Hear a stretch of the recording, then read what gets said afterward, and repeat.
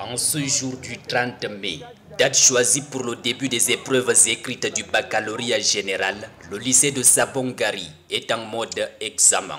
Un tour dans ce sous-centre permet de constater l'effectivité du déroulement de l'examen.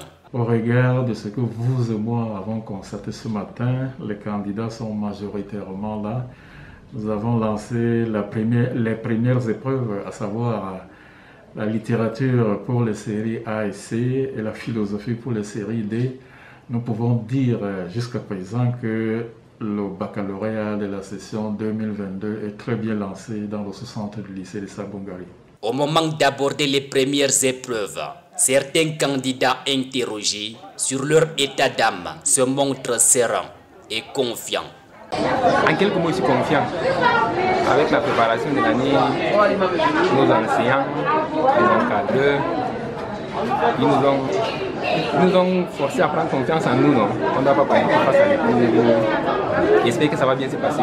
Dès l'entrée principale de l'établissement, les candidats sont accueillis par un dispositif de contrôle. Ils sont filtrés un à un. Ils vont ensuite se soumettre au même exercice avant de pénétrer dans les salles d'examen. Un élève par banc, port du masque, respect des mesures barrières, le protocole sanitaire est de rigueur. Vous avez également vu dans les salles de composition la distanciation qu'il y a entre les élèves. Il faut rappeler que nous avons également reçu de la hiérarchie un plan standard pour les candidats. Les surveillants et les enseignants sont dispatchés dans les salles de classe. De leur côté, les élèves attendent sereinement les premières épreuves. Il est 8 heures lorsque le son de la cloche retentit et donne le top départ pour l'épreuve de philosophie pour la série B et de littérature pour les séries A et C. Après trois heures de concentration et de méditation, le candidat Youssouf Yaya ne cache pas son optimisme à la sortie de la salle d'examen.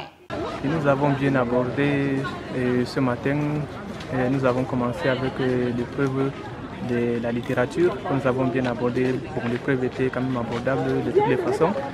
Ils sont 694 candidats venus de plusieurs établissements de la ville à affronter les épreuves écrites du baccalauréat session 2022 dans ce sous-centre.